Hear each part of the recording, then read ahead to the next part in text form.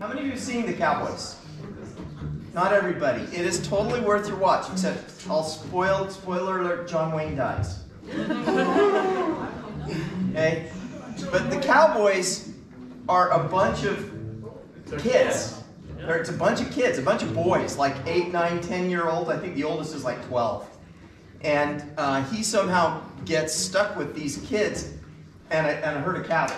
And he has to get them, he has to train these boys to herd the cattle and to get them across to where he's going to take them to sell them, to, to the uh, market to sell them.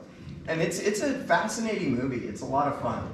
Um, John Williams wrote this right about the time that he was just come, just losing, dropping the knee from his name. When he was stopping from being John E. Williams, writing for shows like Gilligan's Island and Land of the Giants, um, and starting to uh, write some movie scores. And this is one of the earliest. And then after this, of course, the rest is history. He, the, the greatest composer of movie, uh, movie music, I think, who ever walked the planet. And since I'm talking about him, I, I think I should tell you my John Williams story. Um, you know that uh, he has written, he's 90 years old now, he turns 91 in February. Um, he has written a fanfare, Olympic uh, theme and fanfare for every Olympics that have landed on American soil since 1984. The first one he wrote, the most famous, was the one he wrote for uh, the uh, LA Olympics in 84. You hear that all the time during the Olympics. It just goes and goes. That's John Williams. The one he wrote for the Salt Lake Olympics um, he immediately said, I want to write this for the two most iconic groups in Utah, the Utah Symphony and the Tabernacle Choir. So he wrote a bunch of uh, Latin words that sounded like different varieties of fruit. And, uh, and uh, the Tab Choir just did a lot of oohing and awing and singing. And the night of the recording, they, they did something really unusual. Instead of having the Utah Symphony meet and do the recording and the Tab Choir meet and do the recording, they brought everybody together, put the tab choir in the front seats of Abravanel Hall, put the Utah Symphony up on stage, and John Williams stood in the middle of us and conducted.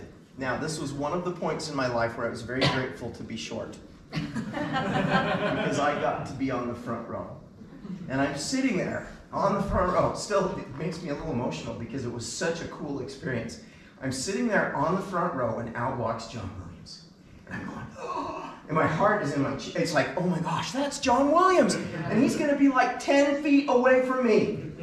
And he comes out on stage and the tab choir immediately and, and Utah Symphony, everybody rousing, just beautiful, monstrous, monstrous standing ovation. And he just stands there with a smile on his face. And after we all shut up and sat down, he goes, This is the coolest moment. He says, I grew up listening to the Tabernacle Choir. My mom, my grandma, they used to always have the Tabernacle Choir on that little Victrola radio um, every Sunday morning and listen to the tab choir. And he says, I grew up listening to the music and the spoken word of the Mormon Tabernacle Choir, and I cannot believe that I am now here standing in front of you. And I go, wait a minute.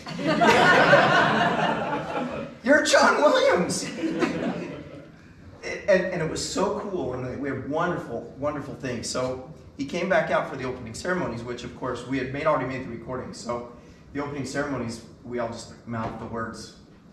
As a matter of fact, I thought it was really cool. It was so cold that a French horn player was blowing through the horn and making steam come out the other end of the um, and all of the all of the stringed in string instruments were student model string instruments that were just purchased for that purpose, and then they were sold to the different schools around the state after because the Utah Symphony players were not going to bring get their good instruments out for that.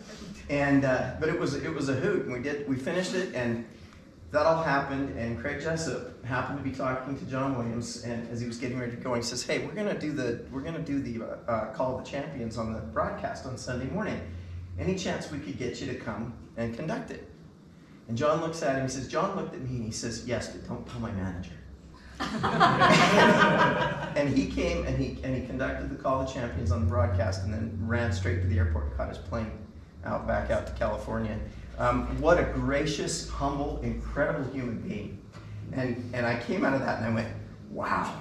And if you ever get a chance to see him like at the Academy Awards or something, see how excited he is for everybody else when they get Academy Awards. He's won more than anybody anyway, so Um, it's just really, really awesome. What a great human being. And obviously a fantastic composer. All right.